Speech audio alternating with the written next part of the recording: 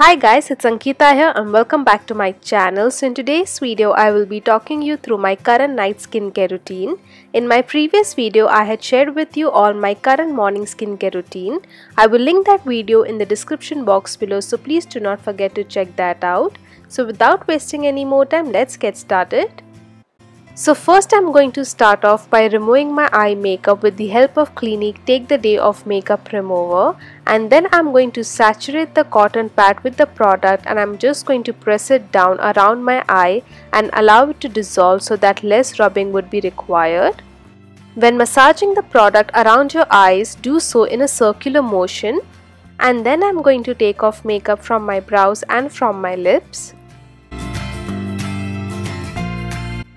To remove rest of the makeup from my face and neck, I'm first going to take the Kaya Hydra Base Makeup Remover onto a cotton pad and start wiping off the makeup. I also love using the Estee Lauder Take It Away Makeup Remover, but Kaya one is a much cheaper alternative.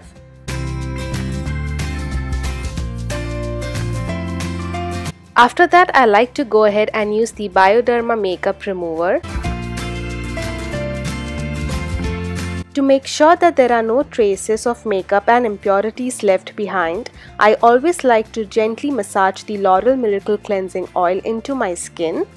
Before applying the product onto the face, always make sure to warm up the product by rubbing it between the palms. This will help the makeup to break easily. And then I'm going to take some water and massage it again and then rinse it off. Sorry for being out of focus while washing my face.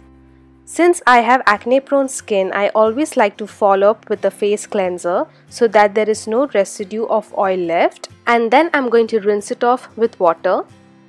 Once or twice a week I also like to use a face mask. Currently I have been using and loving the Plum Green Tea Clear Face Mask. If you're looking for a budget friendly face mask then this one is really good. I also love using the Alpha H Liquid Gold Smoothing and Perfecting Mask but this one is not easily available in India and it is expensive as compared to the Plum Face Mask. Once I have applied a thin layer of mask, then I wait for 15 to 20 minutes till the mask dries completely and then wash it off with water. And then I like to follow up with Pixi Glow Tonic Exfoliating Toner. This helps in getting rid of any dead skin cells and complexion looks much more clear and brighter. As always, I then like to spray some mist onto my skin. Currently, I have been using the Kama Ayurveda Rose Water. This helps in hydrating my skin. Instead of a moisturizer, I use my medicated creams. First is the Fusiwal B cream and the other is Aziderm cream. These are prescribed to me by my dermat so I would not recommend anyone to use these. On alternate days, I also like to use the Alpha H Liquid Gold which has glycolic acid in it. This is good for acne prone skin. Then taking Adaferin gel which is again a medicated gel so please do not use it until prescribed by your dermat. I apply the gel onto the areas where I have acne. I always make sure to take care of the skin around my eyes and for that I first apply the Lotus Anti-Aging Eye Contour Cream. It is more like a serum. Apply any eye cream or serum with your ring finger because that has the most lightest pressure.